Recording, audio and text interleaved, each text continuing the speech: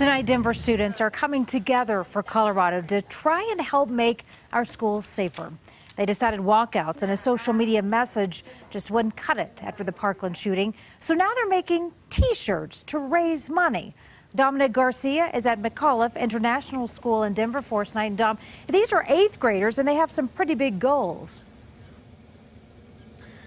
Karen, these eighth graders said they really felt compelled to do something after that shooting in Florida. So their idea was t-shirts. It sounds simple, but designing them was very emotional.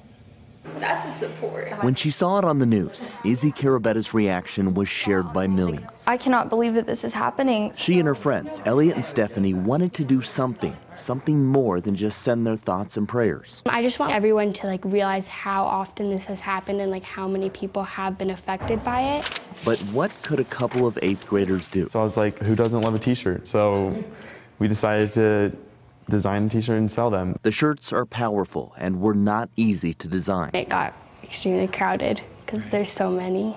On them, the names of victims of mass shootings. Columbine, Orlando, Las Vegas, and Parkland are just a few. It was so many names. I had no idea. Typing all of them in, I like was on the verge of tears. It was very sad. The three will donate the money to the Giffords Law Center to prevent gun violence. They plan to wear the shirts during the school walkout on March 14th, where the names of the Parkland victims will be read. I want them to realize how many people at our school personally um, care about this topic and this issue. They hope to inspire people to take action on an issue many are scared to touch.